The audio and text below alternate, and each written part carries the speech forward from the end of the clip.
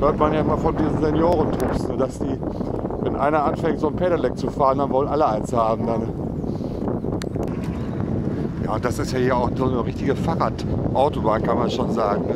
Die dürfen ja keine Autos fahren da. Ne? Wir fahren aber trotzdem. Ja? Das ist Nicole Blasig. Sie fährt gerade mit ihrem neuen Pedelec zur Arbeit. Von Kinderhaus am Deitersweg bis zum LWL an der Warndorfer Straße. Die Strecke ist ungefähr sieben Kilometer lang. Nicole Blasig hat sich's noch etwas schwerer gemacht. Im Gepäck hat sie nämlich ihre Tochter Emily, die Zweijährige, sitzt im Kinderanhänger. Also eigentlich ein relativ schweres Fahrrad.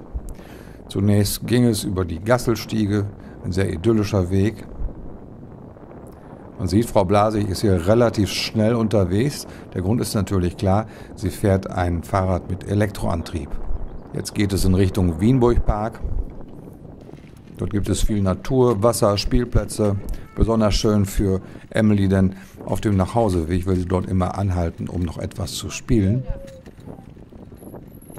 Das letzte Stück des Weges führt dann an der Kanalstraße entlang.